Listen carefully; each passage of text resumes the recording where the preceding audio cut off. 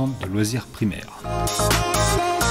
Il était une fois à Maurepas un centre de loisirs primaire qui date de 1983.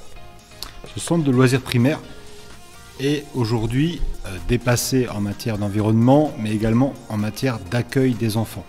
Il sera donc totalement détruit et euh, reconstruit donc avec un gain d'énergie euh, pour tout ce qui est chauffage et électricité, mais également un accueil des enfants qui sera revu pour répondre aux standards d'aujourd'hui.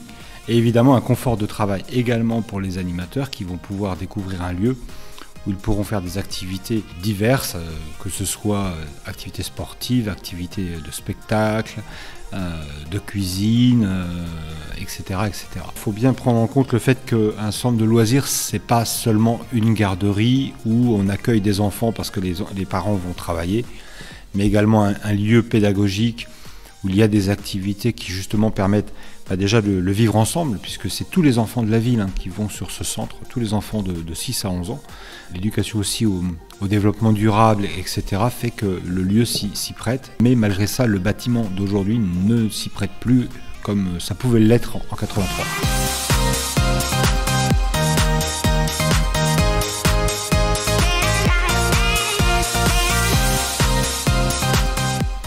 Au centre de loisirs,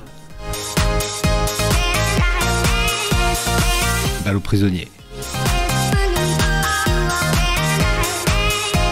On joue à chat. Pâte à modeler.